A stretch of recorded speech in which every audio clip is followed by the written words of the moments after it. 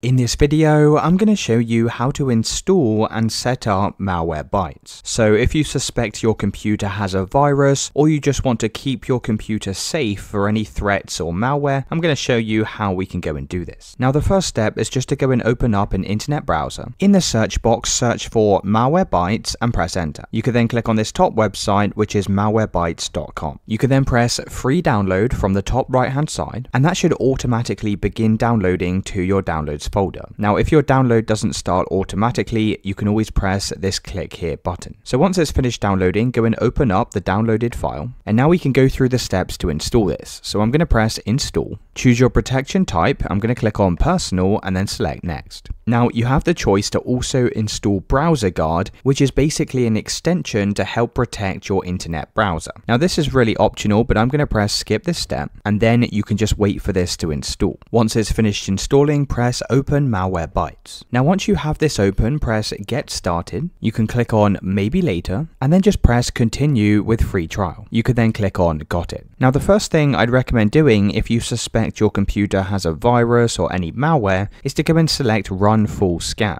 And this will scan your computer for any potential viruses or threats. So you just need to go and wait a few minutes while this performs the scan. Now if you come down to your taskbar in the bottom right hand side, you'll see we have this Malwarebytes icon. Now you can go and right click on this and this is going to show you the protection that's currently enabled. So at the moment we have all of these different protections turned on. If you ever need to disable these, you can always toggle them off like so. So it's really as simple as that guys. Let me know in the comments if you found this video helpful.